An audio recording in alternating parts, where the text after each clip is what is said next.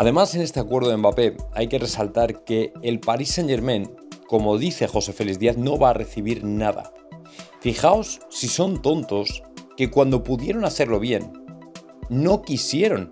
El problema es que, a pesar de que el PSG hubiera querido, en cualquier caso, intentar prorrogar su contrato de verdad, intentar convertirle en el símbolo del equipo, intentar lo que fuera.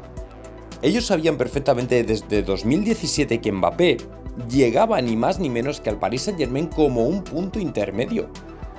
No era el equipo donde quería terminar sus días. Pero para nada. Ellos sabían que había estado a punto de fichar por el Real Madrid.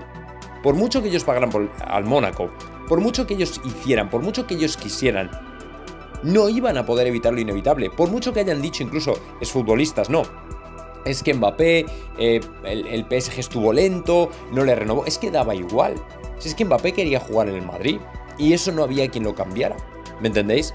Entonces a partir de ahí, claro, la gente se volvió loca pensando y haciéndose pues cuentas que no eran, y entre ellos Qatar y el PSG, y ahora no van a recibir nada, y tuvieron la oportunidad de hacerlo, y tenían que haberlo asumido así porque dijeron, es que claro, este tío se va a ir antes o después.